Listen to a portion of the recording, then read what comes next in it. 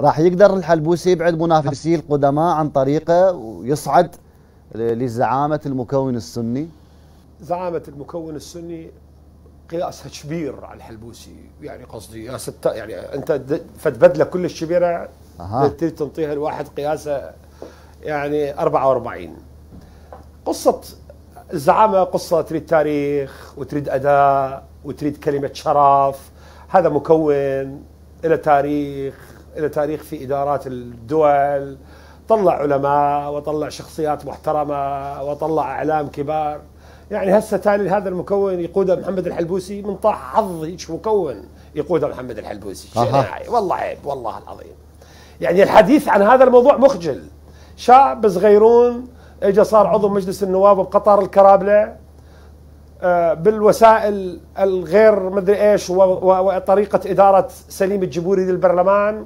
قفز صار رئيس اللجنة المالية بطريقة ما حول فلوس على محافظة الأنبار ولحقها للفلوس وراح صار محافظ الأنبار وبهذا الفلوس اللي حصلهن دخل الانتخابات واستعمل هذا المال في إقصاء ناس فائزين وجاب ناس فاشلين وسقط شعلان الكريم بمحافظة صلاح الدين وجاب آخر ما حصل 10% ما حصل شعلان الكريم ثم يرجع شكل إعلان الكريم الآن ويا رئيس اللي قائمته في محافظة صلاح الدين.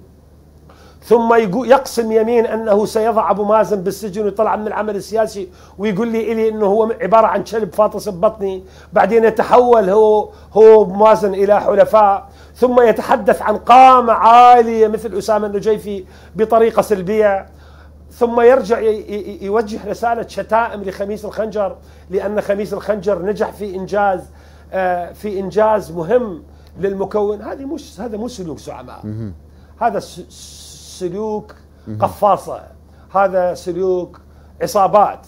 هذا سلوك مافيوي أما الزعامة لها قيم لها أخلاق لها احترام شرف الكلمة احترام العهود آه، لها ركائز. يعني انت تتكلم عن زعامة مكون. أيضا لا يجب أن نعرف أن قد يكون الناس الجديرين بزعامة المكون قد لا يفوزون بالانتخابات. بدائره صغيره يعني فلنفترض تنتصر بها القبلية أو ينتصر بها المال. يعني ماذا لو لم يفوز سام النجيفي أسامة النجيفي في منطقة انتخابية في الموصل؟ هل يعني إن أسامة النجيفي سيصبح في الخط الثاني وإن عندما يفوز الحلبوسي بالفلوجة طيب. معناه هو أصبح الزعيم